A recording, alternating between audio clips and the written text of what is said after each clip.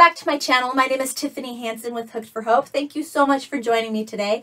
In this video, I'm going to show you how to make the crocheted flower hair clip. These things are super cute. Originally, I was going to say that they were meant for toddlers and babies, but then I realized that my own 12-year-old daughter still wears these in her hair when she feels like dressing up, feeling cutesy. And I've also seen adult women wear these in their hair when they are walking around and they look so cute. Oh my gosh. So these are super easy to make, make up really fast, which make them giftable, sellable, make them for yourself, for your child, for your grandchild, and they are just a lot of fun. If at any point in this video you do like what you see, please push the thumbs up button. And if you haven't yet, subscribe to my channel. That way you don't miss any of my videos. I release two brand new videos every single week covering a wide range of different crochet projects, and you're really not going to want to miss out. So let's go ahead and dive right into what materials you're going to need to make these super cute crochet flower hair clips. The materials that you're going to need to make the crochet flower hair clip are a size 4 weighted yarn. You can really use any size 4 weighted yarn. I actually made three different examples using three different kinds of size 4 weighted yarn. Eh, the blue flower here, I used Vanna's Choice size 4 weighted yarn. It also made up very similar when I used Hobby Lobby's I Love This Yarn. They made the exact same type of flower. The white flower here, I used Lily's Sugar and Cream cotton yarn. I really liked how it changed the texture of the flower and added a little more detail, a little more grit to it, which made it look very farmhousey, that whole rustic kind of look, which is really in, really popular. It was very adorable. Wanted to show that another four weighted yarn, the cotton yarn, worked out great for this flower. Also, this third example, I used Caron Simply Soft yarn, size 4 weight, but it turned out smaller. The Caron Simply Soft flower just turned out a little bit smaller. I wanted to show you when you use your four-weighted yarn that it might, your flower might actually turn out just a tad bit different. It might be a little bit smaller, a little bit bigger than what I showed in my video, and it's all based on what material you used, okay? So I'll go ahead and keep one out for an example. You're going to need a crochet hook size F or 5-3.75 millimeter. You're going to need a tapestry needle or a yarn needle. I have two examples out right here because depending on which button you pick, you want to make sure that your yarn needle will be able to fit through the eye holes of the button, okay? You also need a pair of scissors and a snap clip. Snap clip. I got this 10 pack from the Dollar Tree.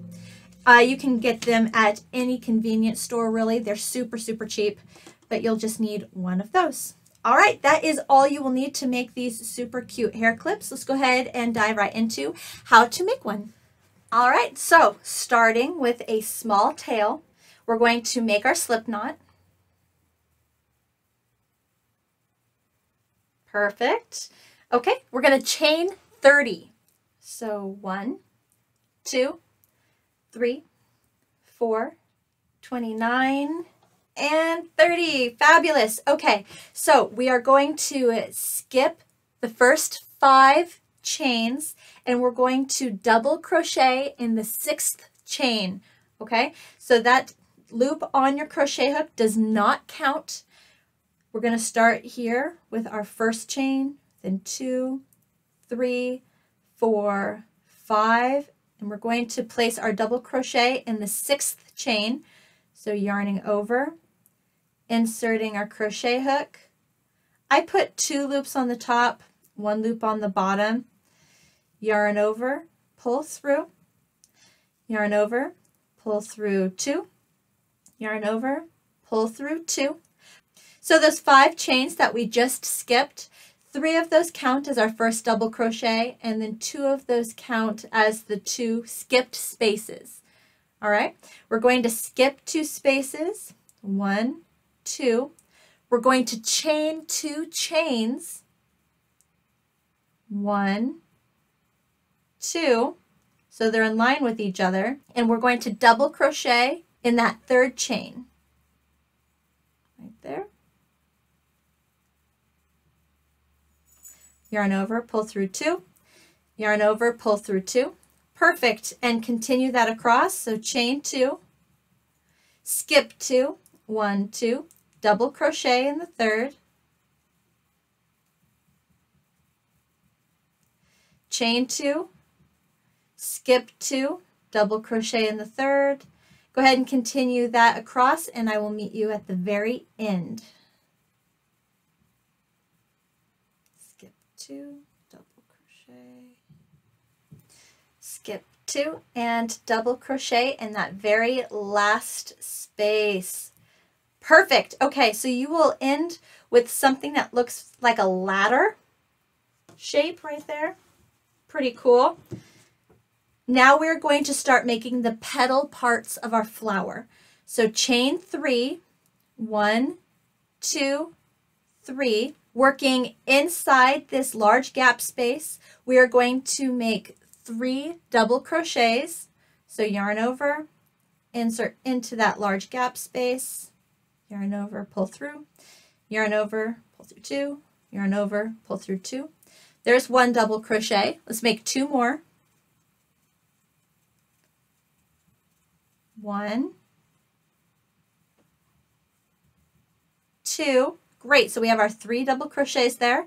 We're going to chain three, one, two, three, and we're going to slip stitch into this gap space. So insert your crochet hook, yarn over, pull through, and pull all the way through that loop on your hook. And what we did is we just made our first petal. Okay, so we had our chain three, then three double crochets, chain three, slip stitch, petal number one. We're going to put two more of these little mini petals in this same gap space. So this second one is going to be more of a diagonal this way. So chain three, one, two, three, three double crochets, one, two, three, and chain three to close our petal. Slip stitch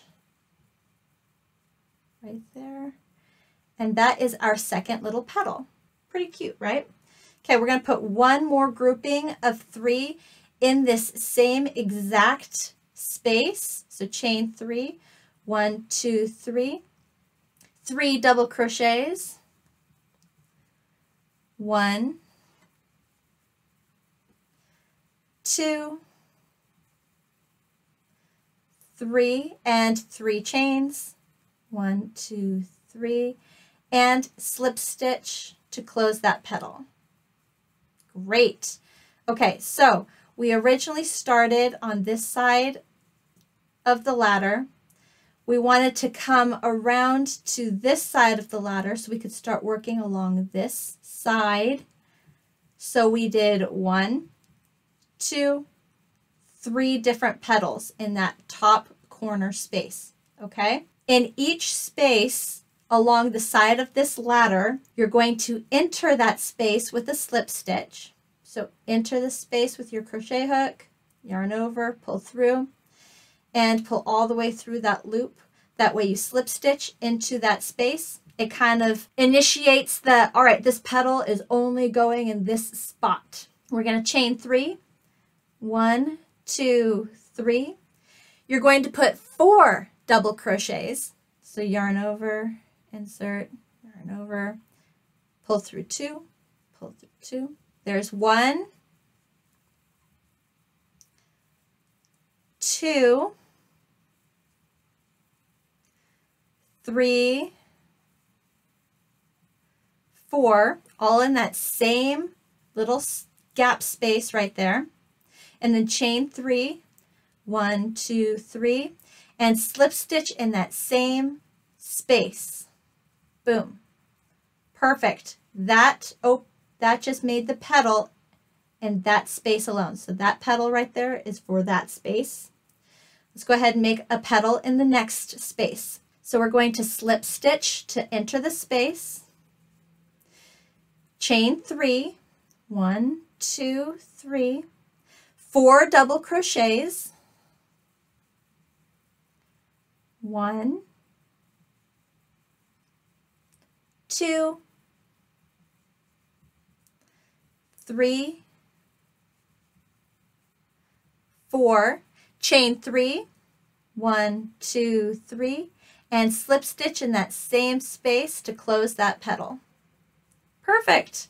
I'm going to do one more space with you and then I'm going to let you go to do it all, do the, uh, the other one, two, three, four spaces on your own. Okay? If you get caught up in anything, just refer back to these last two spaces or the space that I'm about to do with you. Slip stitch into the new space to initiate your petal. Chain three, one, two, three, four double crochets. One, two, three,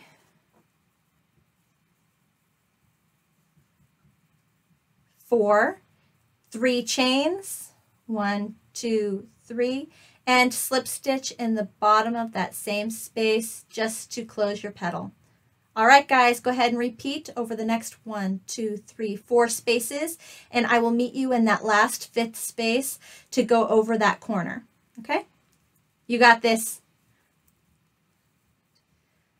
Great job, guys. Okay, we are in the very last space here. You're going to basically do the exact same thing we did in the first space where we're going to slip stitch into the space, chain three, one, two, three. Only put three double crochets. One, two, three, chain three, one, two, three, and slip stitch. So there's petal number one. Let's make two more petals. Chain three, only three double crochets. One,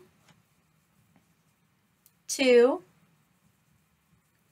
three, and three chains. One, two, three. Slip stitch in the bottom here. And we're going to make one more petal, guys. Chain three, one, two, three, three double crochets. One, two, three, and three chains. Slip stitch into the bottom. Perfect, guys. Okay, we have just finished all of our petals. I'm going to have you grab your scissors. You're going to cut off a pretty long tail, okay? This tail we're going to use to sew all of our petals together to look like the flower. So you want to have a pretty good size tail right there. Okay, yarn over, pull that yarn through that last loop on your crochet hook and pull tight, and that made that last slip knot to close it up. Grab your yarn needle or your tapestry needle and thread that needle. Perfect. Okay, so when we get ready to make our flower, it really is just a twisting. So you take your three flower petals here, you fold them in on each other, and then you just keep twisting and twisting and twisting, twisting. Watch your flower petals. Make sure that each one is visible and that you're not completely overlapping it. And boom, there is our flower. Isn't it beautiful? So you might be wondering, what does it look on the other like on the other side? Well, here's what it looks like on the other side. You have all of these little, uh, the other side of that ladder, all kind of bunched up on each other throughout this flower, okay? So one thing that you could do is either take your rose or your flower and flip it over, take your yarn needle and just sew back and forth, making sure all these little other sides of the ladder get picked up. That way they all attach to each other and periodically just keep checking the front of your flower and making sure that nothing shifted in the process. Okay, that's one way that you could make your flower. The other way that you could make your flower is just step by step, sewing it in, sewing it together. So I prefer that way just so I can make sure the petals stay where I want them to stay. Looking at the end with your three petals, I take these two and I kind of fold them in on each other.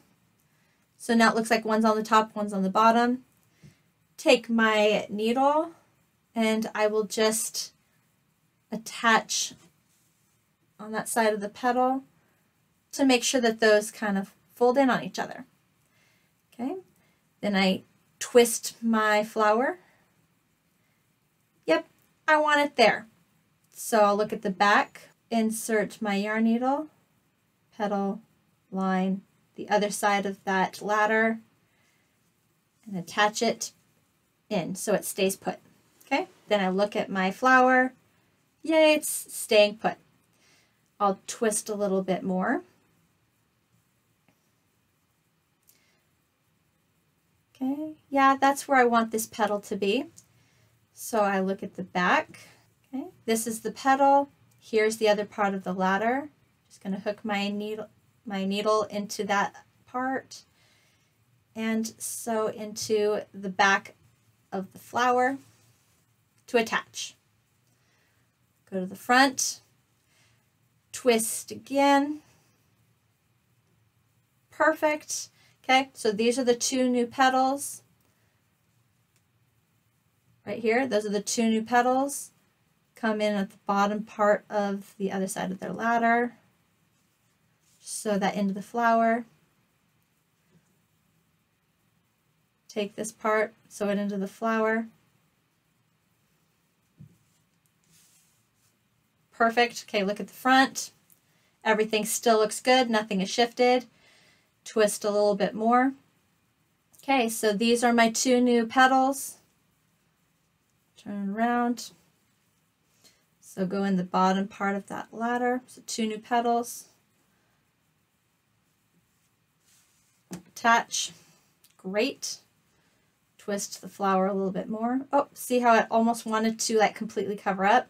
I want to pull it out so I can see those petals. And it looks like that's how I want my flower to end. I've already reached the end of my flower. So when I turn my flower over, I just want to make sure that I attach every other side of the ladder part into my flower. So there's one, so petal, petal, other side of ladder, in. Okay, so petals and in. It's one of those things that you really get a feel for. It's kind of hard to explain. I'm struggling a little bit to show you exactly where to put the needle and how exactly to sew this together. But I hope that I at least was able to communicate the two different sides of the ladder. One side had the petal, one side had the straight line, and you're really just sewing the straight line pieces together. And you're not sewing the petal part because you want the petal part to have a 3D effect. You kind of want it to be able to be loosey-goosey. If you were to sew all the petals flat, it would definitely make a more two-dimensional object and we like to have things a little more frilly, a little more full of life, movement, and a 3D effect. Like that. Okay? So once we feel like all the petals are secure, nothing is moving, we'll go ahead and move on to our button. So have fun with the button. When you're at the store looking for which button you want to use for the center of your flower, have a lot of fun checking out all those buttons in the button aisle. It, they can be really, really fun, really, really creative. With these flowers, I tend to prefer something a little more black because it pops, but I also want it to have some character. I also am in love with wood buttons, but I'm kind of out of wood buttons at the moment. So I am using some of the materials that I have in my stash in my office right now, and they still work. They still look really cute. So I'm going to pick this button I'm going to see will my yarn needle pass through the, the hole and it will. Perfect. So I don't need to go down a needle size in order to sew on my button, which is great. Okay, so attach the button in the center of your flower. Come in through the back into the eye hole. Great. So all the way through the other side of the flower. Okay, there's two. Got two more to go. I'm going to crisscross.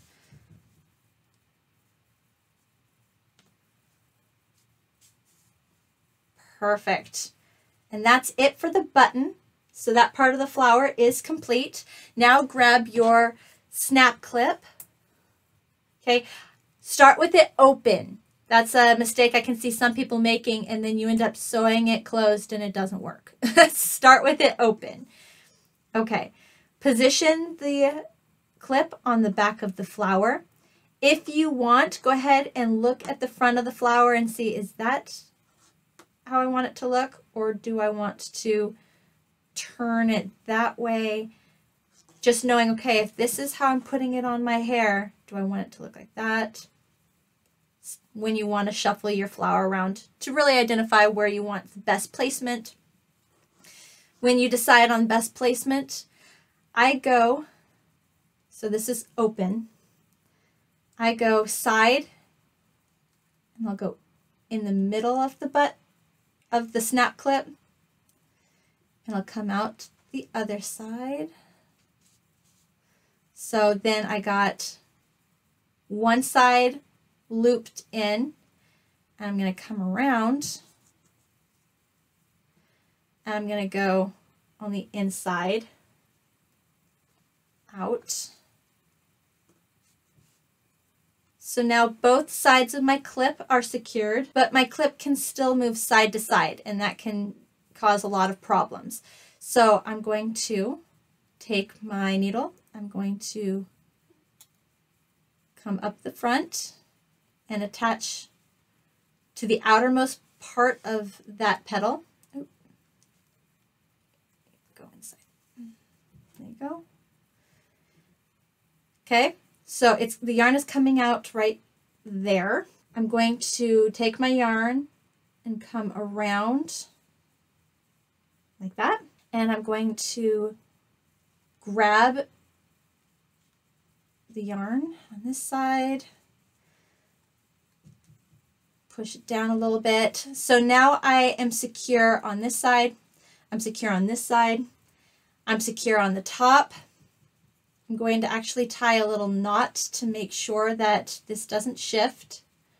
So holding back some yarn with my thumb, inserting my needle into the yarn.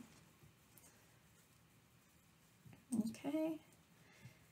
Okay, take these two fingers, twist the yarn so it forms a little X shape. Take your needle underneath and slowly feed it through. That makes a slip knot. So now this side is secure. Now we want to go on to the other side of the clip to hold that clip still because currently that clip can still slide and we do not want it to slide. So we will take our needle and we'll enter into the flower poke out the other side.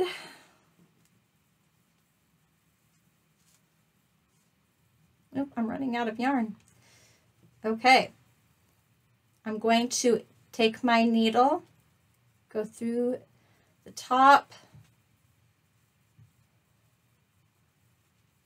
and that will secure my hold on that end of the flower. And you just tie a knot with your yarn like we did before in the top here to secure your clip. This is going to be a little tough because I am running out of yarn.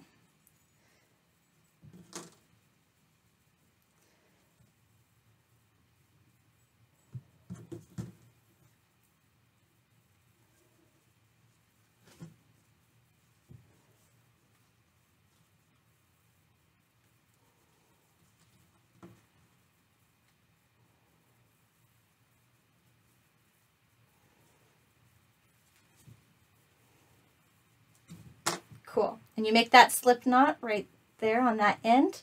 If you have enough yarn, then you would just weave that back into the material or into the flower. I'm just, I don't have enough to hang on to my crochet, my little yarn needle. So I'm going to take my crochet hook.